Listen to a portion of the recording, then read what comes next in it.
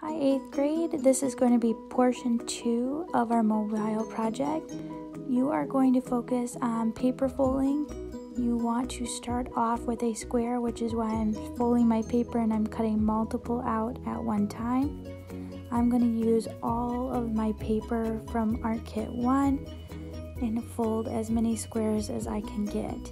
I'm going to create two different sizes of origami cranes for my art project. It is up to you what sizes you choose to use. You need to at least have six.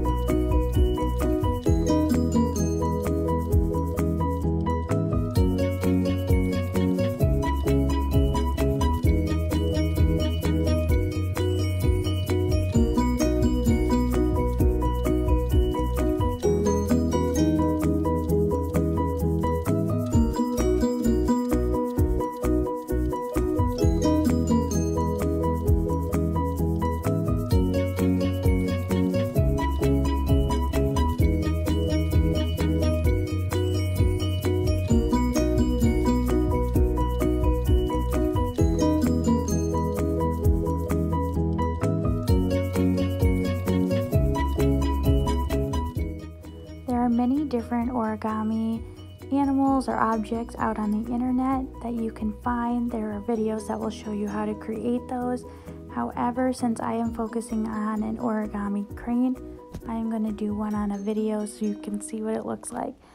You do not need to do the same origami animal that I chose. You can explore as much as you would like.